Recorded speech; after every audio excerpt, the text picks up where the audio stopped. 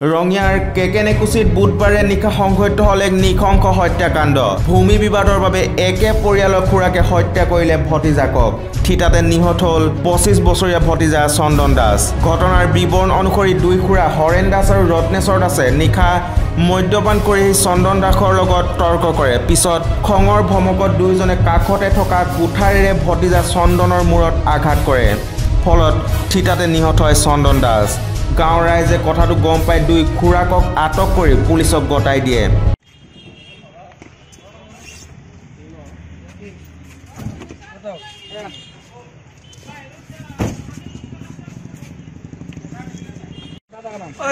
কিহৰ কাৰণে মাৰিছিলা? হা? সিহঁততো ইঞ্জুৰি হৈছিলে? কিহৰ কাৰণে মাৰিছিলা? কিহৰ কাৰণে মাৰিছিলা? কি নাম?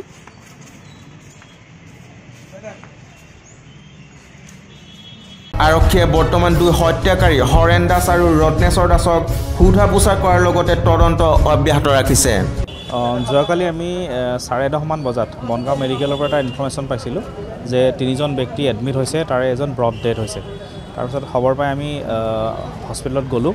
আৰু গৈ গম পালোঁ যে তাতে চন্দন দাস নামৰ এজন যুৱকৰ মৃত্যু হৈছে আৰু তেখেতৰ নিজৰ খুৰাক ৰত্নেশ্বৰ দাস আৰু হৰেণ দাসৰ লগত কাজিয়া হৈছিলে আৰু কাজিয়াৰ ফলতে তেখেতে প্ৰহাৰ কৰিছিলে চন্দন দাসক আৰু চন্দন দাসৰ হয়তো মৃত্যু হৈছিলে যিটো হস্পিটেলত অনাৰ পাছত ব্ৰড ডেড ডিক্লেয়াৰ কৰিছিলে।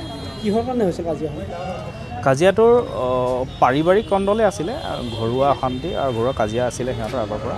আৰু যোৱাকালিও তেনেকুৱা সৰু কথাক লৈ কাজিয়া হৈছিলে আৰু কাজিয়াৰ ফলতে তেখেতসকলৰ মাৰপিট হয় আৰু তেনেকৈ মৃত্যু এতিয়ালৈকে পোৱা অনুসৰি কোঠাৰে আক্ৰমণ কৰা বুলি কৈছে। ৰঙিয়াৰ পৰা ছফিকুল আহমেদ অসম টুডে। কোনে মাৰিছিল? কি নাম তেখেতৰ? আৰু? কিহৰ কাৰণে লাগিছিল? এতিয়া গমটো নাপাওঁ আমি কি নাম এখেতৰ চন্দন দাস ক'ত ঘৰ? তেখেতৰ কিহেৰে মাৰিছে? কোঠাৰে? কোন জেগাত মাৰিছে। কোন জেগাত মাৰিছে?